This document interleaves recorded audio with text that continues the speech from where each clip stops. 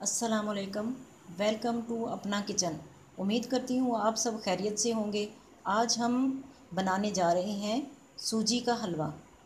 सूजी के हलवे के लिए जिन जिन चीज़ों की ज़रूरत है, वो आपको बताते चलें। सूजी ले लें एक कप एक कप चीनी ले लें। एक कप ऑयल ले लें। बादाम बारीक काट लें। खोपरा ले लें, मेवा ले लें और इसे धो लें। बिस्मिल्लाहिर्रहमानिर्रहीम।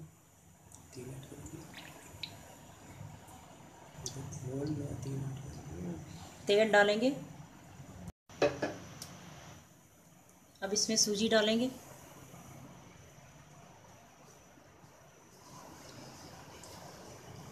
और सूजी भूनेंगे।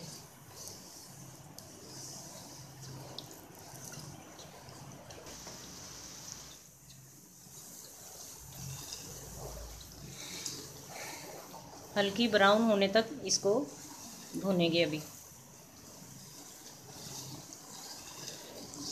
हल्की हल्की खुशबू आ रही है इसकी। देखें ये हल्की हल्की ब्राउन हो रही है। बस एक दो मिनट और इसको भूनेंगे तो ये भुन जाएगी सही तरह।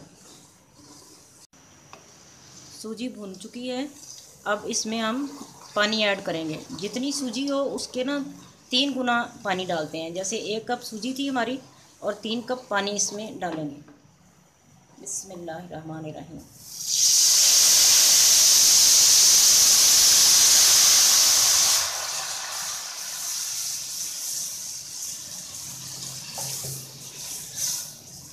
इसके साथ ही अब चीनी डालेंगे।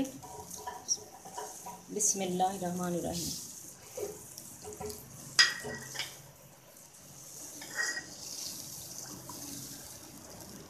पानी खुश्क होने तक पकाएँगे इसे।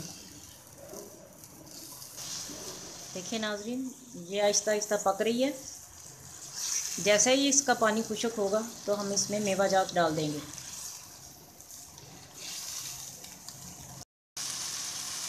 देखिए नाजरीन, काफ़ी हद तक पानी खुश्क हो चुका है।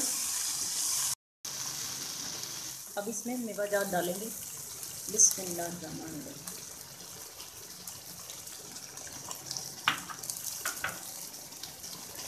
खोपरा भी ऐड कर देंगे।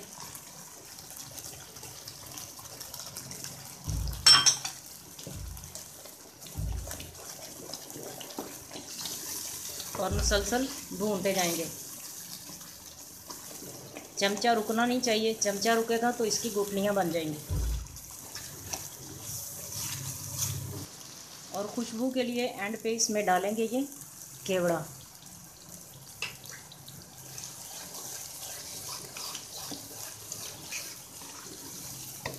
देखें कितनी मज़े की खुशबू आ रही है, केवड़े की भी और सूजी की भी। देखें नाजरीन, ये पक के तैयार हो चुका है और इसने घी भी छोड़ दिया है। ये देखें किनारों से, ये हट गया कढ़ाई से।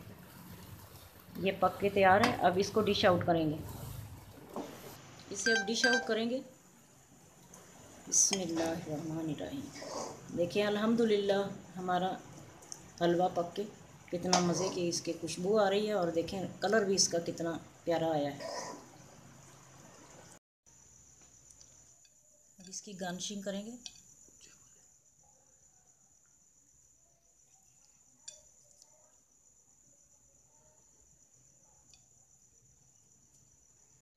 आज की रेसिपी आपको कैसी लगी, कमेंट बॉक्स में ज़रूर बताएँ। हमारी वीडियो को लाइक करें और हमारे चैनल को सब्सक्राइब करें। फैमिली मेंबर्स और दोस्तों के साथ शेयर करें। अपना बहुत सा ख्याल रखें, इजाज़त दें हमें और दुआओं में याद रखें। अल्लाह हाफिज़।